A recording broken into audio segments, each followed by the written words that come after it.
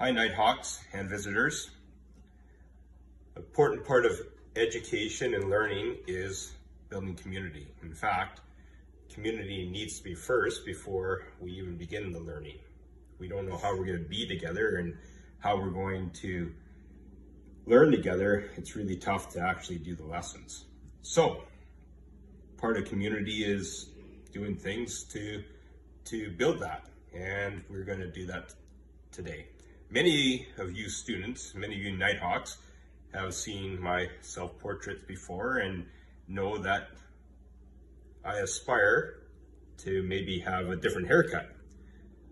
But I've always been held back by a certain somebody, Mrs. Miller. Anyways, today, I think I may achieve something awesome. Thank you and let's see what happens.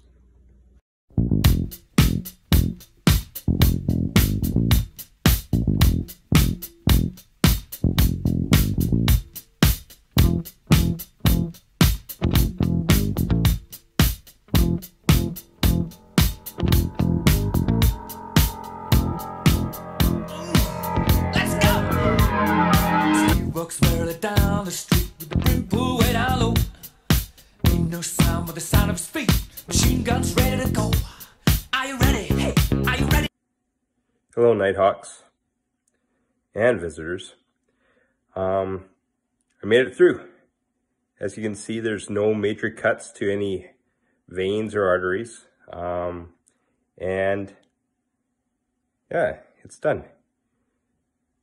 I'm feeling pretty good about this.